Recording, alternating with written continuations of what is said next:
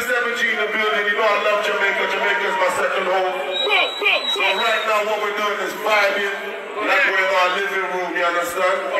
Stone Love. Really?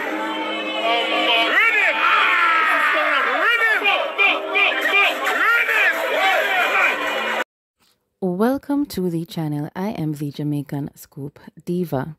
Now, Burna Boy rocks Stone Love Weddy Weddy with his live performance, and this is according to Yard Hype. Burna Boy says Jamaica is his second home during his performance at the popular event Weddy Weddy while on vacation in Jamaica. The Nigerian hitmaker is only making his second visit to the island. The first was when he performed at the Burna Boy and Friends concert in Kingston. The Afrobeat star, who is rumored to be with be in a secret relationship with dancehall artist Jada Kingdom, took the mic at the weekly event and reeled off some of his mega hits, including Yeah Yeah, which had the crowd rocking as patrons in attendance sang along word for word.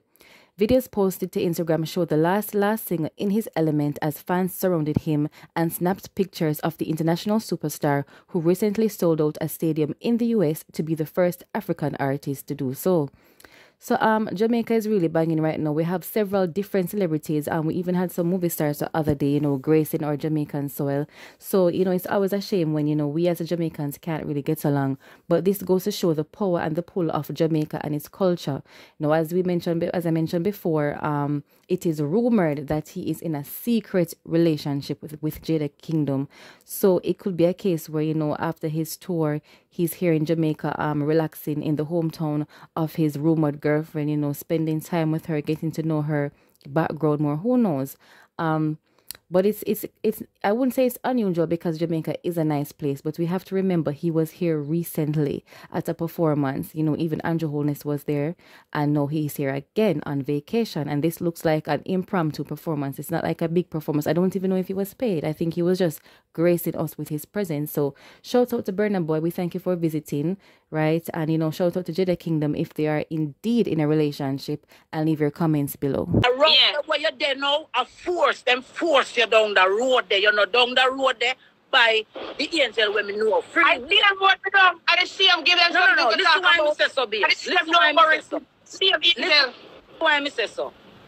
I just see them stronger. me Yeah. not judge you by your reputation, me judge you by the character when me see you out. Seeing? Mm. So, me not, when me, when me say, all right, OnlyFans is the public thing, right? But everybody's the reputation. Yeah. Seeing? So when I say no, the thing when you're OnlyFans, seeing? Mm. You're a big woman. You have the right to do what you do because you see Mhm. sweet. The wrong and strong with me now is when little girls them vulnerable. So my thing is when me Mhm. if if Angel I go say is me the one me no want all of my little young 20 year old fans them to think so they can come come on only fans to and feel like because them see them artists Angel a do it or something.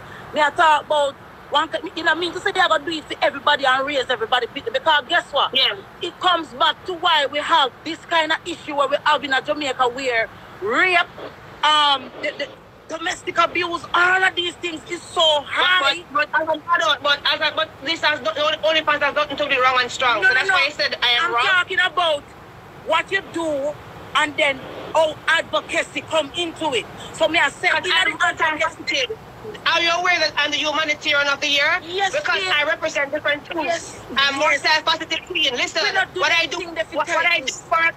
And listen, I spoke about it already. I am an adult. I can make adult decisions. Yeah, but- so whatever I want to do, I can do that. you don't have but to who empower? anything of. No, You know, after I'm telling you, but you bring it to Queen Ifrica. Who empower women empowerment more than me? Who tell who, who advocate against a crime and violence against our youths more than me? All right. Let I'm me just ask you something. Let me And the ask you fact that he joined me as a man and we are do it. So that's right. to do with my career choice. I'm Let still the angel. I'm let still who I am. Let me ask you something. Seeing, we're talking about how we, as public figures, can lend our voice to when me call with fans. Who- But that we are doing that we are raising right. That So we are doing. so listen, babes. You see, Mm. the same people when we call with fans, they are Mm. influenced by everything we do more than politician, more than church, more than I agree. anything else. people are influenced by us in Mhm. whatever genre, in whatever field. They follow. Mhm. If Angel put her here in a in a goal, them are going to put them here in a goal. If Angel come out and say she will pick him man, them are to want go pick him man. So when we are say is, we have to know, understanding say, we have creative rights, and you know, that's why we bring in Razor B, you know. I saw me and Razor B, because Razor B called one of my sisters for an interview, and I, I end up on the phone with him. I me I look on Razor B and me I say, you is a man we always a sing them little provoking girls song they were questionable some of them, but at the One same second. time, them still danceable them still have a vibe about them and people still a rock to them. But at the end of the day, there are kids who are influenced directly by some of what these songs are saying. So me I say now, when we are do that freely in our songs them, and then we are come do advocacy now too, we fi mix up everything so that them know say a razor B do the song where I say come suck my body with the ice cream and an angel No, no, me never did- whatever never their did. song say. No, queen, no, queen, Oh, you know I down here. Queen, I don't wrote need to sing that song. No, no, I no, not I sing that think- What song. your song say? What your latest song say, Razor B? You know, Commentary, they are born out, they are born out Angel Owens. I tell them, say, yo. And the Don't latest one. the poor that- people, All right, thank you. You see, this is the thing, you know. We have to can accept the truth in ourselves first before we can even talk to no one about it. You know. Any truth we're not gonna bring up about me, you know. I'm not afraid to accept it you know, because it's not about me, you know. And, Yeah. and, and, and as me say again, the day when we have the conversation with you, that is what I said. I said, I said, Razor, you are known for the type of music that you do. Imagine if you tell a little girl and run a back road, say, round the sun are the only place where them belong, as Razor B. Just No. imagine the difference where you are going to place in a fit them head from your platform as a man. no, but that. But no, but the No, step but that hold we're on. taking has nothing to do with our music or what we sing. Cause I'm on. a dancehall and reggae artist, and me never, I've never, I've never condoned no violence or no negative energy. If I've been, I talk about this platform that I'm on because at the end of the day, I COVID Queen Ifrica, and I'm a single mother, so I have to make it. I have to figure out a way to survive. But at the end of the day, I'm still that positive light at the end of the tunnel.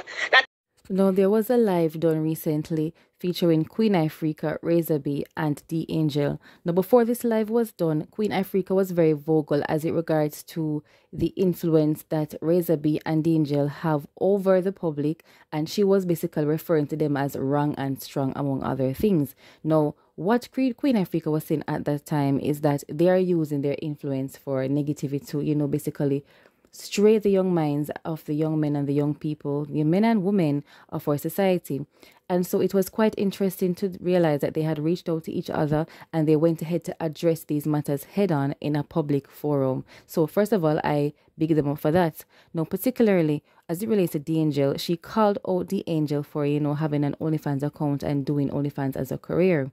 And she's saying that although, yes, she respects Angel as an artist and as a person, however, she believes it is wrong for D'Angel to be doing OnlyFans as she will encourage her young fans to do the same, which she believes is morally incorrect.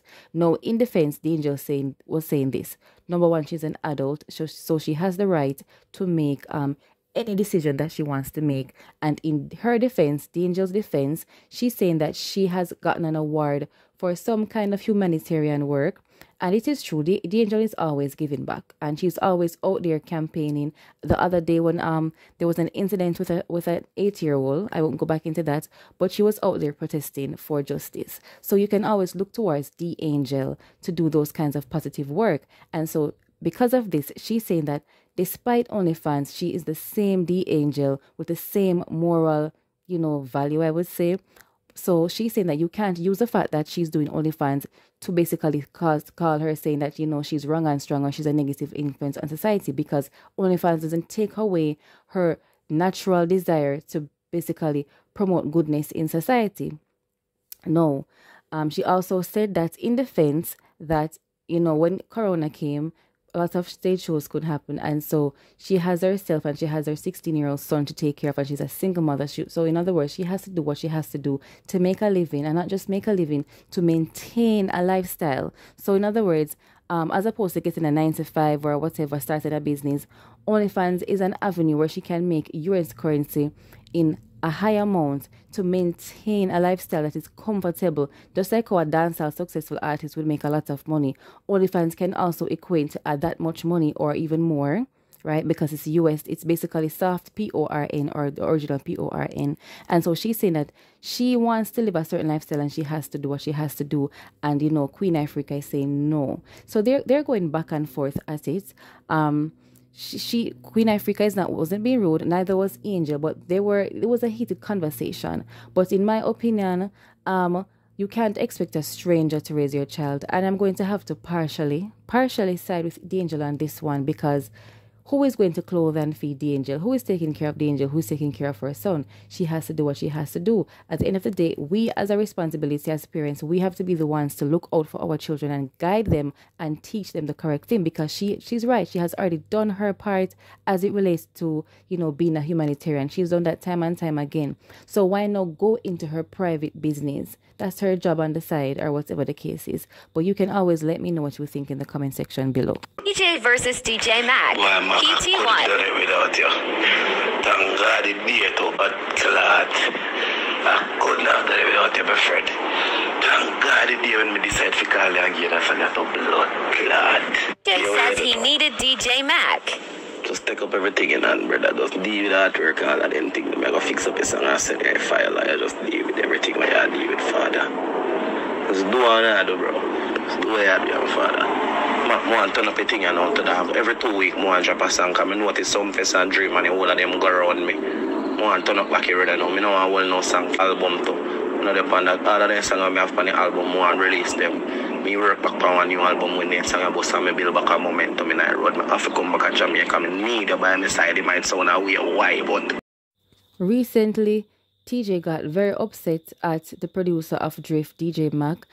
claiming that DJ Mac had attempted to steal the song from himself and didn't want to give the original beatmaker, which is Panda, credit for the song. Now, it was a big social media thing, and you know, he came out and he was ranting, etc. Now, DJ Mac has clapped back with voice notes. And in the voice notes, you can basically hear Teejay saying, um, you know, thank God that he made the choice to work with DJ Mac and you know he wants to do a lot of work and he's very grateful that he has agreed to help him along his musical journey because he wants to be hot in the streets. Now, a lot of people may say, you know, Teejay looks like a fool, but I don't think so. All I'm hearing is a sincerity of somebody who really wants to get back out there because if you look at the bigger picture, Teejay did exactly what he said he was going to do. He said he wants to get current, he wants to get hot in the streets, and that's exactly what he did with the Drift song. And he not only got hot in the streets, but he got a deal from the Warner Company. He got a deal, he got a record deal from the song. So, so in other words, he's just expressing gratitude to DJ Mac for agreeing to work with him and agreeing to do these projects, right? You can't use that to determine and say, okay, Teejay is this and Teejays that. This voice note still does not justify what DJ Mac did or tried to do in terms of going behind his back, right? And trying to steal, you know, money from the song, allegedly. That's no excuse.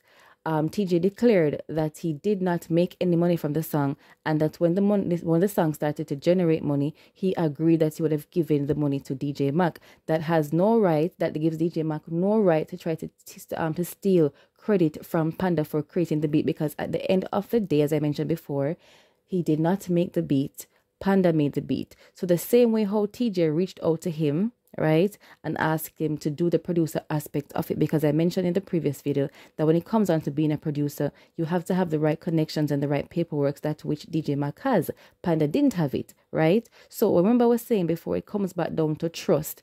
Teejay Mac, um, Teejay, sorry, trusting DJ Mac to deal with the documents in good faith that he would split the money correctly three way correctly, right? Between um among Teejay Panda and himself, DJ Mac. Instead, he wanted everything. That's still not right. So him saying basically, um, okay, um, thank God for whatever, whatever, that just shows his gratitude for them agreeing to work together, which would even explain as to why Teejay would even be upset and why he would have been so upset because Teejay spoke to him on the phone, reached out to him, was sincere, was humble, was grateful, and still he went ahead and tried to steal the song. Anybody would be upset. In fact, this only proves the point more that Teejay was being respectful and humble. I'm not picking a side, this is my honest opinion, but you can let me know what you think in the comments. And with that being said, this is the Jamaican Scoop Diva. Please like, share, and subscribe. Please don't forget to hit the notification bell and leave your comments below. Please take care of yourselves.